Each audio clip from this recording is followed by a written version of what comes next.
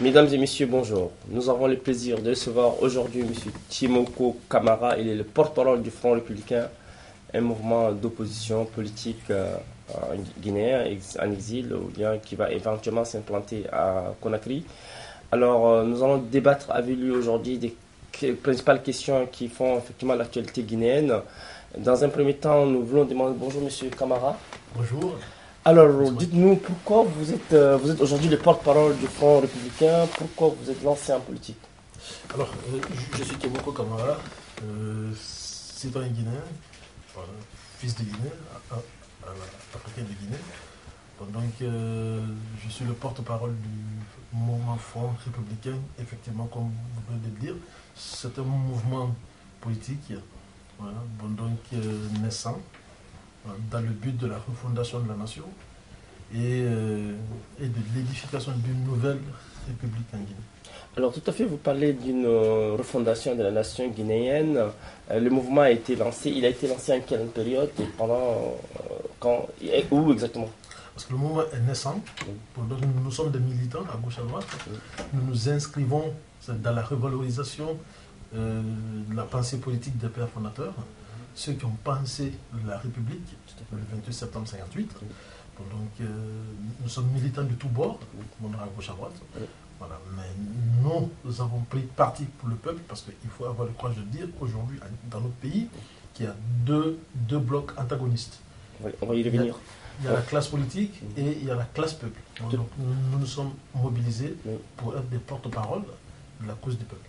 Alors, donc, en quelque sorte, vous êtes une force d'opposition, force alternative au, pouvoir en place ou bien à, la classe politique guinéenne de façon large? Nous ne pensons pas aujourd'hui eh, que la classe politique, elle est divisée. Non.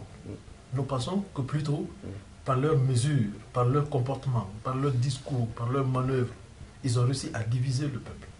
Mais eux, ils sont unis dans une sorte de mafia politique au sommet de l'État face, au peuple. Voilà, ça, aux grandes dames de l'international, aux grandes dames mm.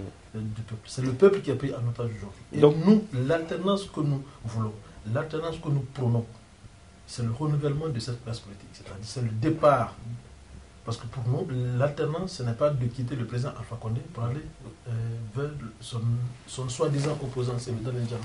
Non.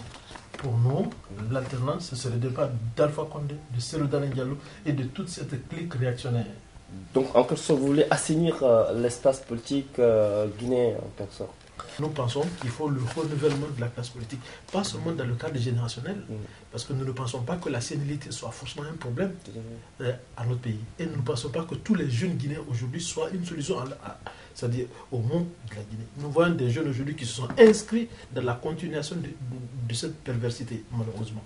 Alors donc, c'est tous ceux qui s'inscrivent, ou, tous ceux qui ont le courage de ne pas s'inscrire, c'est-à-dire dans cette démarche dilatoire, c'est-à-dire sont avec nous pour le départ de la classe politique. Tous ceux qui sont aujourd'hui au sommet de l'État doivent partir. Alors, vous êtes jeune et vous vous lancez comme ça en politique. Vous pensez que euh, ce n'est pas un pari risqué pour vous qui, qui, qui la France pour venir à, Conakry et mobiliser la jeunesse, comme vous le dites. Est-ce que ce n'est pas un pari risqué pour vous? Euh, Pari risqué, euh, pour moi pas. Je pense que la politique, elle est faite pour les jeunes. Mm. Vous savez pourquoi? Mm. Parce que la politique, c'est le dynamisme. Mm. Voyez-vous?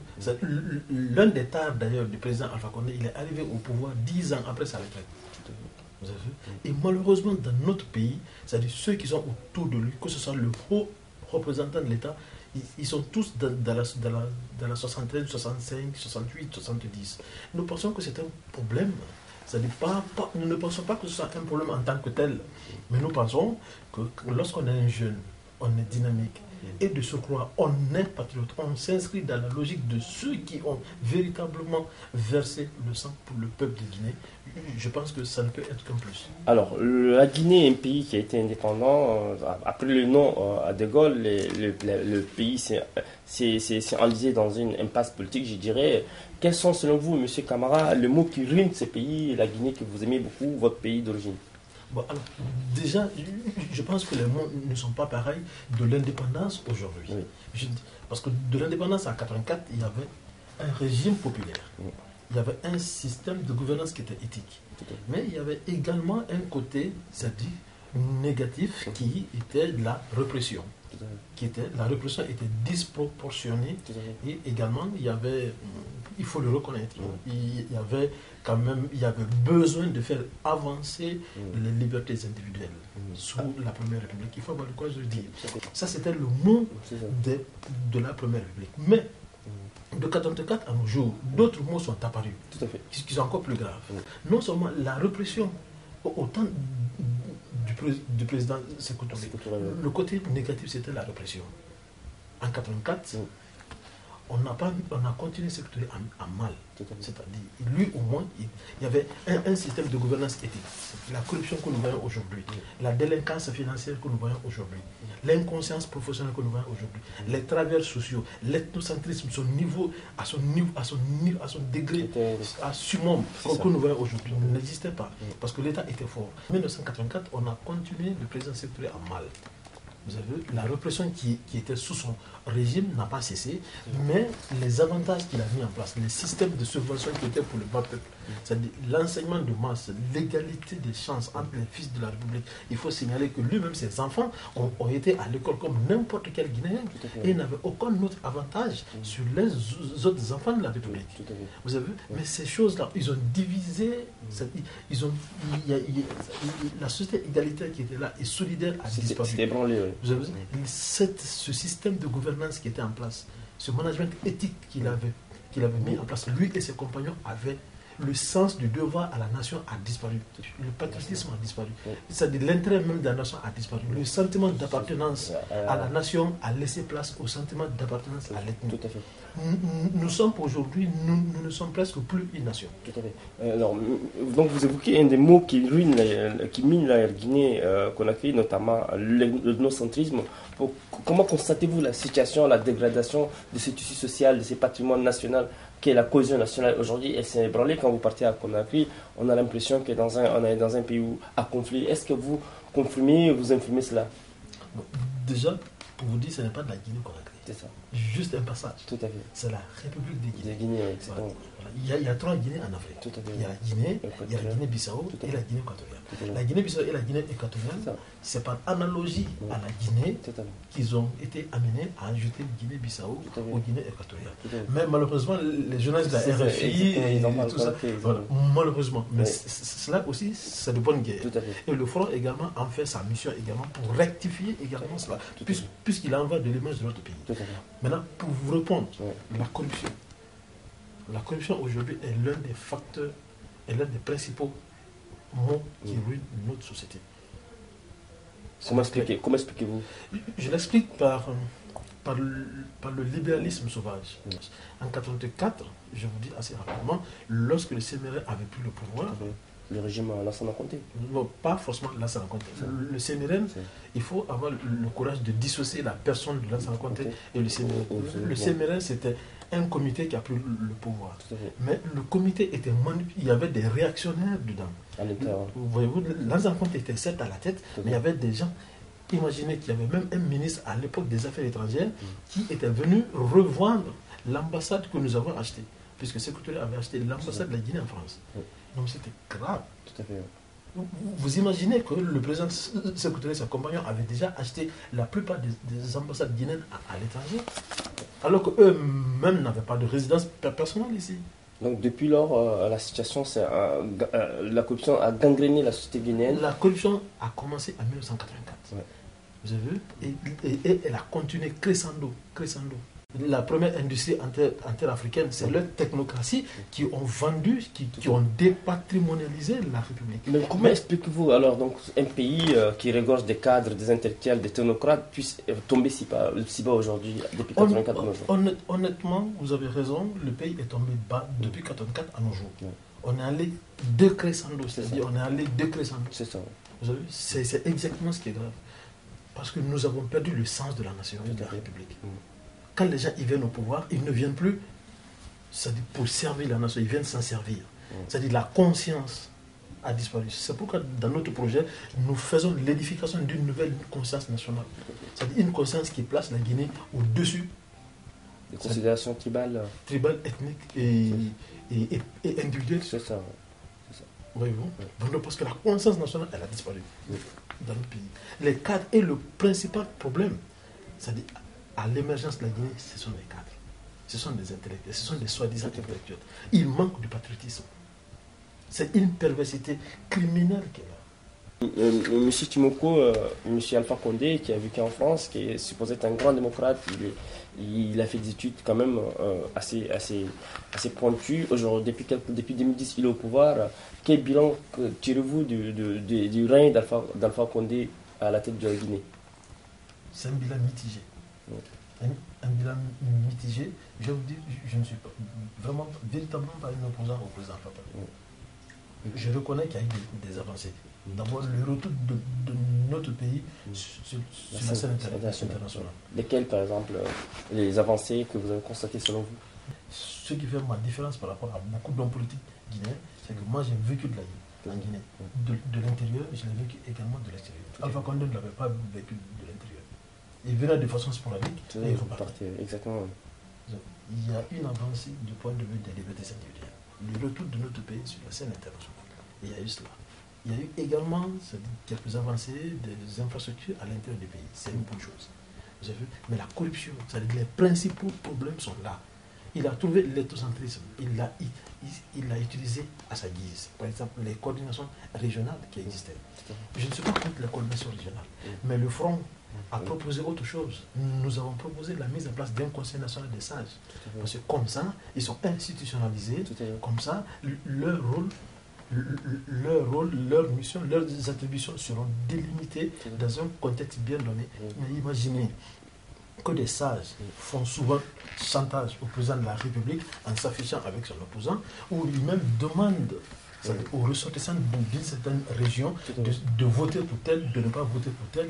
Il, y a une certaine influence. Ils sont devenus aujourd'hui un lobby au point que au point que nous, nous, ne sommes presque. Donc la démocratie a été un moment de fossé, en fait, le fait par euh, l'influence, l'impact que, que jouent ces, ces, sages-là. Je considère que la démocratie est là. Mais, les principaux problèmes, ce sont les principaux problèmes qui ne sont pas résolus. L'ethocentrisme, non.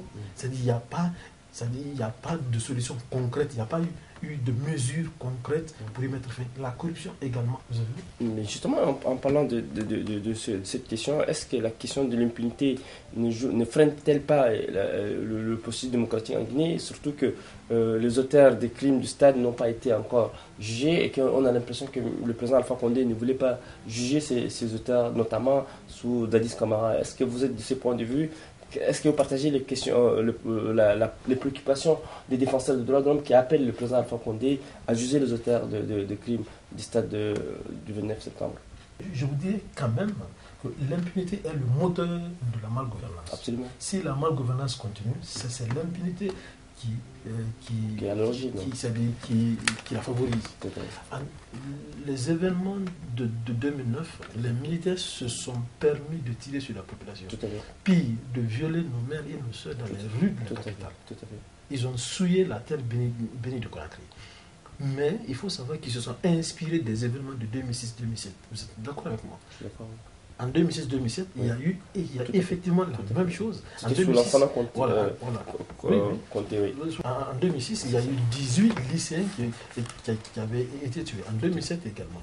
Et à l'époque, le Premier ministre, c'est l'actuel opposant au principal opposant. Tout à fait. C'est le Voilà, voilà pourquoi nous voulons. Parce que si nous en sommes là, c'est leur gouvernance, c'est leur politique qu'ils ont mis en œuvre, qui ont enfoncé le pays dans cet état, qui ont, qui ont mis le pays dans cet état de déliquescence quand même.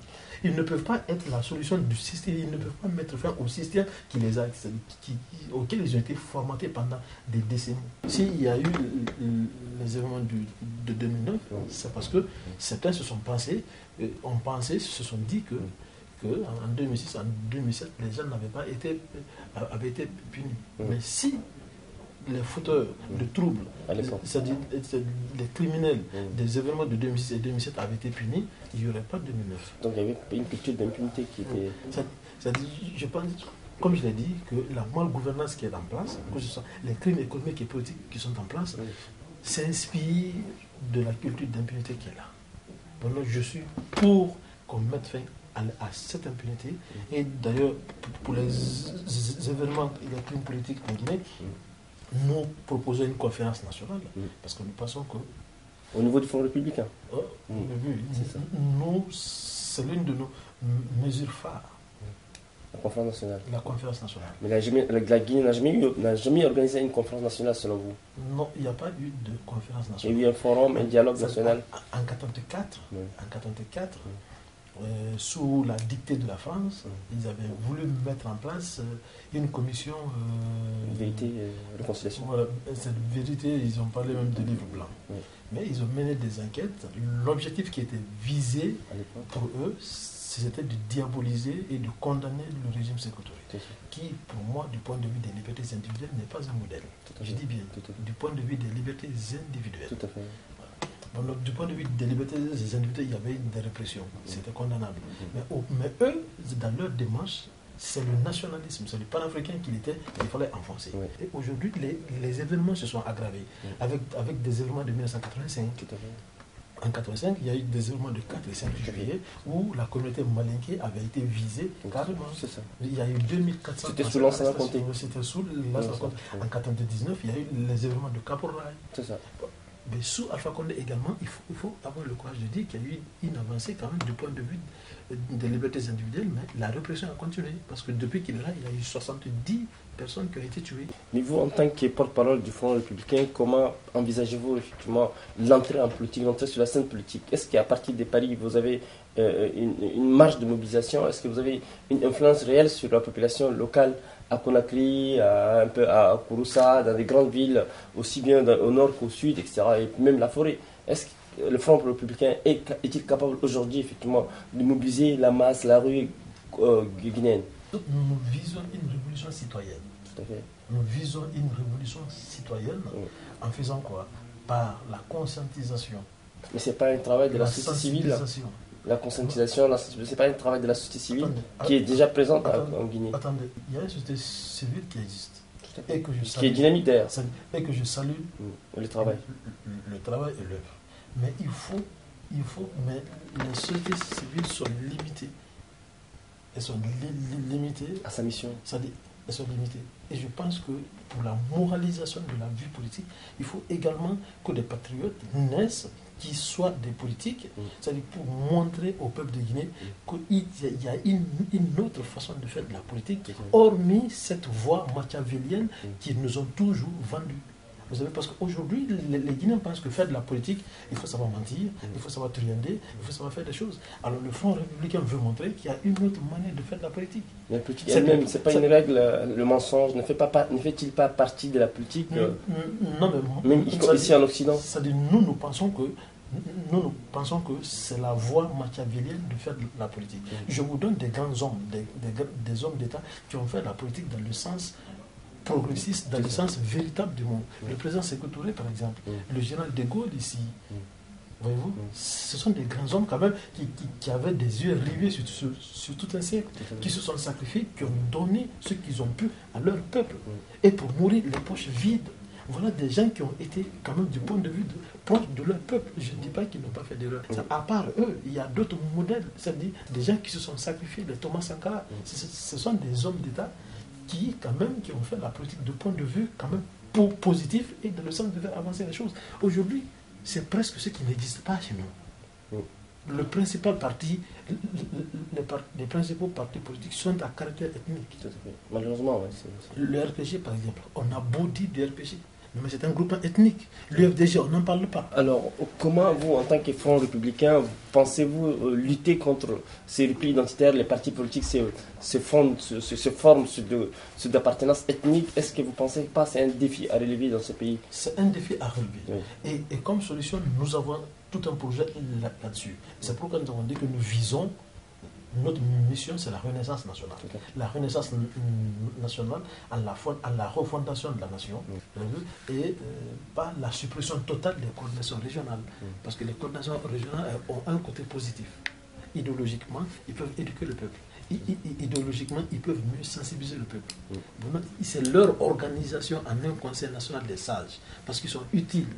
Mais juste à ceux, à limiter, à délimiter carrément leurs attributions au point qu'ils ne puissent plus s'inviter dans la sphère politique, mais qu'ils soient là sur le point social et sociologique. Je voudrais demain, lorsqu'Elias Serrouna Souma, c'est-à-dire qui se dit aujourd'hui mm. euh, le Kontiki de la Basse-Côte, je voudrais qu'il se dise demain le Kontiki de la Guinée. Vous avez vu mm. C'est-à-dire lorsqu'il parle, mm. qu'il s'adresse en même temps aux Soussou, aux Malinké, aux Peul, aux Forestiers, aux Bassari, aux Calais. C'est vaste réformation, effectivement. Non, c'est même pas des réformes, c'est une refonte. C'est pourquoi nous l'avons appelé une révolution citoyenne. Il faut un projet d'une nouvelle république. Cette république, ce qu'elle est, il faut carrément la déboulonner. C'est le système qui est en place, il faut carrément l'abattre mettre en place un, nouveau modèle de développement. Et bien, bientôt, notre projet sera publié. Vous ne pensez pas que vous allez buter à des résistances, surtout qu'en euh, Guinée, euh, il y a des hostilités face à, ces, à, cette, à, cette, réforme, à cette transformation totale intégrale de la société guinéenne? Il y a le président Sekou qui disait qu'un homme qui s'apprête à traire une lionne n'a que faire des bourdonnements d'un petit moucheron nous considérons que tous les, que tous les travers, que, tout, que, tout, que tous les obstacles seront seront des, euh. seront des obstacles à surmonter ou à éliminer. Nous pensons déjà, euh, du point de vue de la réforme, au, au multipartisme intégral. Parce que nous pensons que le multipartisme intégral a réveillé des querelles tribales. Ça a contribué à diviser. Ce n'est pas seulement en Guinée. Encore, en Guinée, nous avons de la chance. Il y a des pays, comme la Côte d'Ivoire, où nous avons vu il y a eu des charniers, il y a, eu plus de 3000 morts. C'est le multipartisme intégral qui ne nous correspond pas. Et nous n'allons pas l'imposer, mais ce sera par référendum. Nous communiquerons dans nos langues nationales pour que nos compatriotes comprennent pourquoi nous voulons sortir du multipartisme intégral. Aujourd'hui, regardez nos compatriotes, si, si des délinquants financiers sont capables de, se faire passer pour des porte-parole d'une communauté, c'est le multipartisme intégral quand même qui l'a favorisé qui l'a favorisé. Mettons en place un système éthique. Eux-mêmes, ils vont, ils, vont se rendre d'eux-mêmes ou chercher, ou, chercher des trous à rats ou se cacher. Puisque ce sont des délinquants, ce sont des, des, pervers qui, qui, ont contribué à détruire l'appareil de l'État. À la place du multipartisme intégral, nous proposons un système démocratique qui puisse nous correspondre. Lequel nous avons pensé à beaucoup de formes de multipartisme. Nous pensons au multipartisme avec parti dominant, par exemple. Mhm. Ou nous pensons aussi avec le bipartisme souple, pas le bipartisme rigide, mhm. qui malheureusement peut aussi permettre d'autres problèmes, c'est-à-dire comme euh, la bipolarisation de, la scène politique. Parce qu'avec avec un bipartisme rigide, mhm. nous risquons de voir les, les, deux grandes majorités s'affronter. Ça, il faut l'éviter. Nous pensons déjà à un multipartisme avec parti dominant au, au, sein duquel il y aura beaucoup de partis qui, peuvent, qui pourront concourir à, interagir à, l'intérieur. Nous pensons aujourd'hui que la démocratie occidentale ne nous favorise pas. Il faut tropicaliser donc la démocratie. Pas la tropicaliser, mais il faut l'adapter aux réalités africaines. Oui, mais justement, c'est ce qui a valu un certain, certain euh, ce qui a valu à, des, à, à Moussa Traoré au Mali son départ en 1990 parce qu'ils ont voulu effectivement arriver comme vous euh, euh, adopter la, démocratie universelle aux réalités africaines. Est-ce que vous ne pensez pas vous êtes sur un terrain très glissant Vous avez des, partenaires occidentaux? Vous savez, euh, nous pensons que les partenaires occidentaux nous devraient nous accompagner. se limiter à leur, à leur rôle d'accompagnateur. Mais les décisions sont nationales. L'État, la, Guinée est un pays souverain, il le restera. Je voudrais paraphraser ici d'ailleurs le capitaine Davis lorsqu'il disait que la Guinée n'est pas une sous-préfecture de la France. Je voudrais également ajouter que pas, pas que pour la France, la Guinée n'est une sous-préfecture d'aucune autre nation, d'aucune autre république, si puissante qu'elle soit. Donc les décisions devraient être nationales. Elles le sont, elles le seront.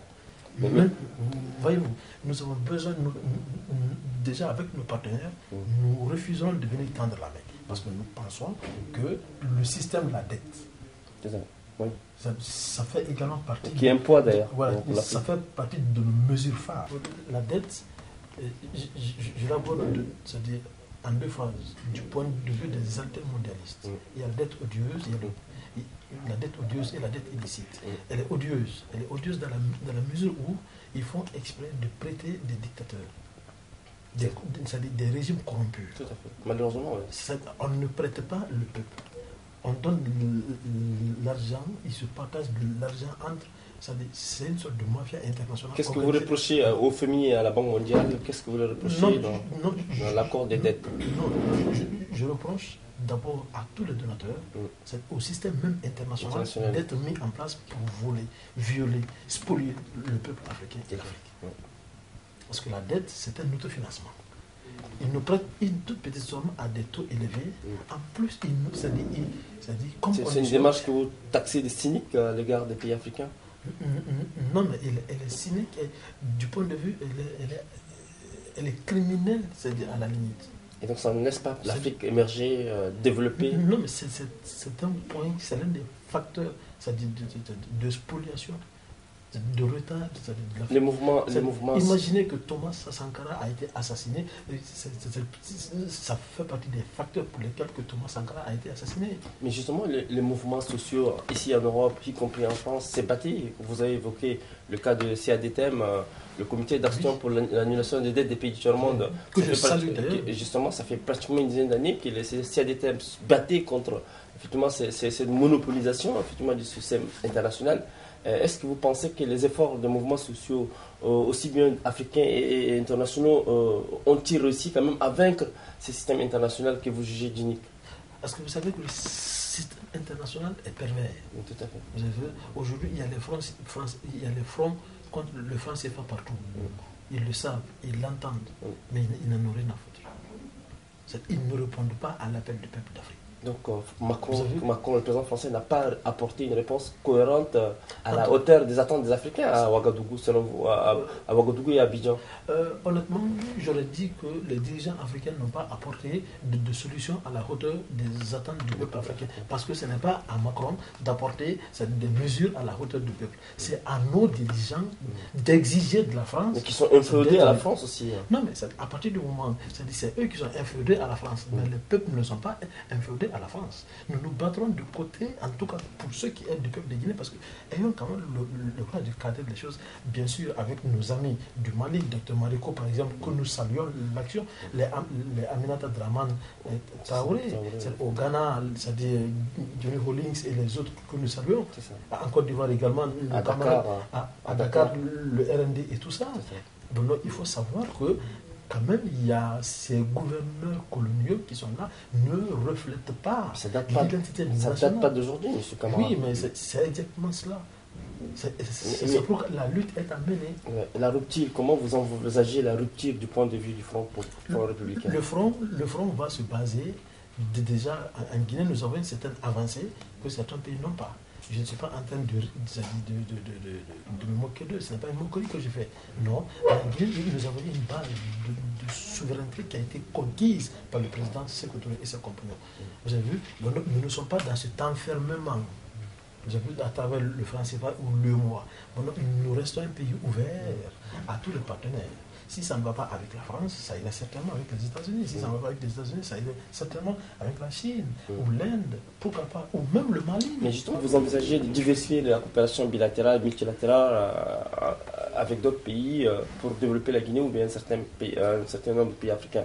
Et cette diversification des coopérations internationales a posé problème à des pouvoirs aussi en Afrique. Vous pensez que la France pose-t-elle problème également à, à- à la Guinée si vous envisagez au fond républicain d'aller dans cette, euh, dans cette voie Oh, je pense que non, parce que depuis l'indépendance, nous avons été l'un des pays africains les plus ouverts au monde. Malgré son embargo, notre pays était ouvert dès 1959, au point que notre pays a été l'un des pays précurseurs des pays non alignés. Je reste convaincu que nous avons besoin de la France. La France aussi a besoin de nous. Donc, euh, tous les tous les partenaires sont au même, seront traités au même pied d'égalité. Ce qui nous intéresse, c'est l'intérêt que ça, ça- ça- ça va nous apporter. Toute coopération qui nous apportera quelque chose sera la, la- la bienvenue. Monsieur Camara, merci pour la première partie que vous avez réussi à aborder sur la question guinéenne. Aujourd'hui, nous allons aborder la question internationale, notamment avec la Libye, l'Afrique, un pays, euh, depuis la chute du régime de Gaddafi, euh, s'est retrouvé dans une impasse totale. Il y a eu une révélation assez médiatisée en lien avec effectivement des Africains qui, ont été, qui sont pris en otage, qui ont été, je dirais, ont été esclavagisés par des groupes armés. Que, quel est votre ressentiment? Quelle, quelle lecture faites-vous sur la crise euh, euh, libyenne et comment avez-vous perçu ou accueilli cette nouvelle tragique euh, des ressortissants africains en, Libye? Honnêtement, à titre personnel, j'ai été choqué comme tout fils digne et conscient d'Afrique. Moi, ça dit que je suis un homme révolté contre l'histoire, ça dit, euh, récente de l'Afrique et des Africains, ces 500 dernières années. Parce que ce n'est pas seulement notre histoire ne, se limite pas qu'à ça. Mais c'est l'histoire récente qui, fait que les gens n'ont d'autres images dans leur tête de nous, Africains, que, euh, que cet homme misérable, méprisable, à la limite euh, esclave. Mais on n'a pas senti une indignation dans les rangs des pays africains. Est-ce que vous, en tant que euh, acteurs politiques, je dirais, est-ce qu'on a vu la société civile à Paris, on a vu à Dakar, on a vu à Conakry, on a vu à Abidjan, les gens se mobiliser. Mais l'indignation euh, euh, institutionnelle, je dirais, des pays africains au niveau de l'Union africaine n'a pas été, n'a pas eu de résultats escomptés par les populations africaines. Est-ce que les mesures déjà ont été très timides. Tout à fait. Vous avez vu, l'Afrique devrait reprendre ça de façon concertée. Mais l'Afrique n'a pas tiré la leçon de l'envahissement du, du, Mali. Parce qu'au Mali, euh, on a tergiversé au, niveau de l'Union africaine, on a tergiversé au niveau de la CDAO. Aujourd'hui, le cas libyen est emblématique de l'impuissance, je dirais, eh bien de, de, tergiversation effectivement, du pays africain. Est-ce que le Front républicain que vous incarnez peut-il remédier à cette, à cette, à cette situation? Je vous dis carrément que euh, le panafricanisme, autant, la, manière dont le panafricanisme été vécu au temps du président c'est que Touré, il n'a pas vécu aujourd'hui pareil. Parce qu'autant du, du président Touré, il n'était pas seul. Il y avait lui, Moribo Keta, Kwame Nkrumah, à gauche, à droite, le monde un peu partout, c'est-à-dire des, des, révolutionnaires, des, nationalistes qui se donnaient la main pour essayer de faire avancer les choses. Aujourd'hui, cette dynamique n'existe plus. Nous avons à la tête des États africains des réactionnaires. Plutôt, les 14 pays, c'est des, pays de l'UEMOA et de la CEMAC. Vous avez vu? Moi, d'ailleurs, c'est pourquoi lorsqu'on me parle de l'Afrique, je veux un peu plus parler du Nigeria, je veux un peu plutôt parler du Ghana, de l'Éthiopie, du, Rwanda, du, du Botswana. Ces pays qui, eux, sont restés eux-mêmes et qui incarnent au moins, au, c'est-à-dire au moins euh, un Africain debout, conscient. À qui, la faute, à qui la faute Je pense que nous avons toujours eu, à la tête de ces certains États, tu vois, c'est-à-dire des dirigeants quand même qui ont toujours trahi l'Afrique, qui ont toujours trahi la cause de l'Afrique. Vous avez vu, Bondoc, c'est-à-dire la désolidarisation, ce qui a fait que nous n'avons pas pu réagir de façon concertée. Vous avez vu, de façon globale, de façon unie à la question libyenne, fait que l'esclavage continue d'exister. Il faut une action politique cohérente, concertée, et il faut une action militaire. Mais ce qui se passe aujourd'hui en Libye, c'est un manque, c'est un renoncement. C'est la preuve que c'est la preuve que certains pays ont, ont renoncé à leur à leur devoir, à leur mission. De solidarité, exactement, même de solidarité intra-africaine. Non, seulement la solidarité intra-africaine n'existe pas, mm. mais également ils, ils, ont manqué à leur, à leur responsabilité historique. Parce que notre, notre premier devoir, c'est de sécuriser, c'est de défendre nos populations à travers le monde. Et, et, il, est, il est insultant il est insultant, il est révoltant de voir que l'Africain est traité euh, partout en Liban, euh, au Liban, aux États-Unis, en France, mm. mais que ce soit sur le sol africain, cela est inacceptable. La solution qu'il qui, qui, aujourd'hui apporter, c'est une intervention d'urgence mm. ou une intervention humanitaire. Et ça, c'est en fonction des dispositions du droit international. Mais le droit international n'est pas appliqué aujourd'hui sur le cas. Les gens sont toujours pris en otage. Lorsqu'il s'agit de l'Afrique et des Africains, le droit international n'est pas appliqué. Mais lorsqu'il s'agit de défendre les intérêts de la France des États-Unis, on utilise tout de suite le droit international. Imaginez-vous, on a utilisé le droit international pour euh, déloger et même tué Kadhafi sur le sol et dans l'impunité totale. Ils ont oscillé la communauté internationale pour intervenir en, en Afghanistan, en Irak, un peu partout, en Côte d'Ivoire. Mais lorsqu'il s'agit de défendre des, Africains, il, paraît qu'il y a 20 000 hommes pris en otage à travers la Libye. 20 000 hommes, ça fait trop. Ça veut dire l'Union africaine n'est pas une organisation panafricaine. C'est une organisation africaine, c'est une organisation des États africains qui s'inscrit dans la, dans la défense des intérêts de l'Union européenne. Alors, euh, dans, la, dans cette indignation que vous, vous, faites preuve aujourd'hui, euh, il y a deux jours, euh, Donald Trump, président américain, avait tenu des propos assez désobligeants, assez, humiliants encore à l'encontre des Africains. il a traité des pays de merde. Est-ce que, au fond républicain, vous n'avez pas senti encore un affront, une humiliation à l'encontre du peuple africain donc je, je pense que Donald Trump n'arrête pas de s'humilier et d'humilier le, peuple américain. Je me réserve, et, le Front républicain se réserve de, répondre à un tel énergumène. Nous refusons de nous rabaisser à son niveau de rhétorique. Non. Nous sommes issus d'un peuple hautement noble, du peuple africain. Depuis l'Égypte antique, nous refusons de nous comporter comme un vieux porc. Il est en train de, rabaisser l'Amérique à sa plus petite expression, au point que lorsqu'il parle, il est banalisé. Les gens ne le répondent même plus. Monsieur Timoko Kamara, nous arrivons au terme de cette interview. Je voudrais vous demander quel sera votre dernier mot à vos collègues, euh, au peuple guinéen et ou bien aux Africains qui vont éventuellement vous découvrir dans votre perspective trajectoire politique. Bon, euh, écoutez, M. Makaela, mon dernier mot pour ma part, je l'adresse à mes compagnons de lutte. Lesquels? Je parle de Kabasano, par exemple, de Geri Matata Silla, de Mohamed Mahmadi, de Tiano Amadouba, de Selou Diallo, Abdraman Dantouman Kamara, de Kondé Le Bon, de Mohamed AST, à tous nos compagnons, à tous ces membres fondateurs, de Cheikh Ferren Kondé, Laville Koyevodi, qui avec moi, main dans la main, nous avons essayé, nous avons décidé de nous engager dans l'arène politique guinéenne pour essayer de faire avancer les choses, de montrer au peuple, de donner l'espoir au peuple qu'une nouvelle Guinée est encore possible. Parce que beaucoup pensaient que le président Alpha Condé était le dernier espoir. Non, il n'est pas le dernier espoir, il a échoué. L'espoir, c'est le Front républicain. Nous voulons montrer aux jeunes de Guinée, à la population guinéenne, que l'espoir existe avec nous, qu'ils nous rejoignent et que main dans la main, nous nous battrons pour non seulement dans la mobilisation, l'organisation et la conscientisation en vue de cette révolution citoyenne. Il faut édifier une nouvelle conscience nationale mettre le peuple au travail, encourager le travail et le travailleur. C'est abattre ce, système de corruption et, d'inconscience professionnelle. C'est de créer une, société égalitaire au sein de laquelle tous les Guinéens, tous les fils de la République seront traités au même pied d'égalité. Merci.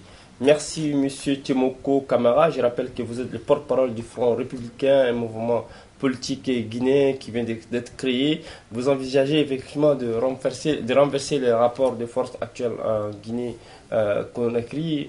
Merci aussi à tous ceux et celles qui nous ont suivis depuis Paris. Euh, c'était un grand plaisir et merci aussi à Johan pour la couverture technique, pour le soutien qu'il a voulu nous apporter. Et à très bientôt. Merci à tous.